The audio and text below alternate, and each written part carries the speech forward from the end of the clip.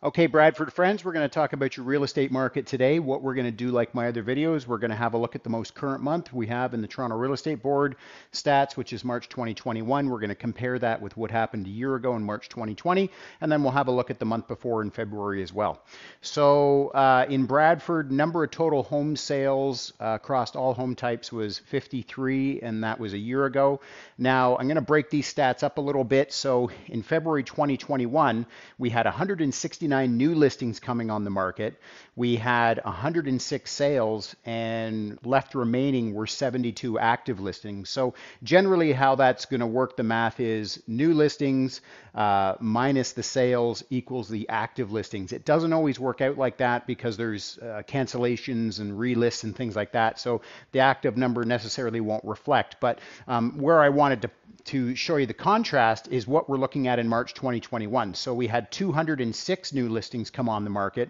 We had 140 sales and 100 uh, active listings left over after the monthly sales happened. So we, we are starting to see that inventory levels are beginning to rise. We are seeing that there is more inventory hanging around, which is uh, represented by the active listings here. So there is more inventory. So this is, is good news for buyers.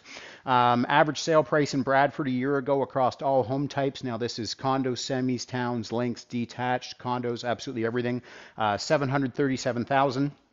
983,000 in February 2021, and currently we cracked the million in Bradford for March 21 with an average sale price of a million million twenty-nine thousand. Uh, sales to new listings ratio could also be referred to as the absorption rate. And what that tells us is out of the homes coming on the market each month, what is the percentage that are actually selling? So a year ago, 53% of the homes coming on the market sold in Bradford.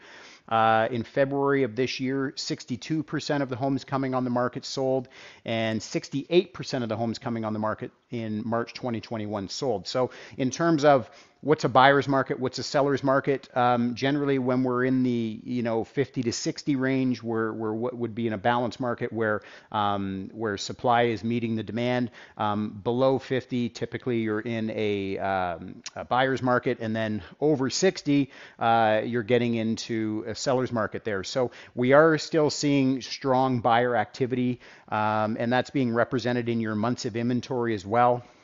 So months of inventory uh, tells us that um, if no other homes came on the market after today at the current rate of buying, um, how long would it take to deplete the current uh, inventory levels? So a year ago, 1.5 months, and we're just under half that now in February, and we're maintaining it um, at 0.7 for uh, March. But again, keep in mind that you had more listings come on the market by probably 20% in uh, in March from February. So with this to be holding steady, there is a lot of buyer activity still. Um, sale price to list price ratio, homes selling just under asking uh, a year ago, uh, 109%. So homes selling 9% over asking in February, currently trending at 107% of asking. Uh, days on market to get a home sold a year ago, 12, and we're 7 in February, and currently trending at 11. Now, I, I want to also point out I just want to circle back for a sec to March 2020. If you remember, we were at the beginning of the COVID market uh, back then. So from March 15th to April 1st, 2020, the real estate uh, industry in general, the market really took a pause. I mean, we saw an immediate drought of, of um, listing inventory because a lot of sellers, uh, well, a lot of people in general were were sort of just unsure and uncertain about what was what we were going to be experiencing. So a lot of homes came off the market. Um, so I'm not surprised to see the the low number of sales. I don't think it's an accurate reflection if it was a typical year.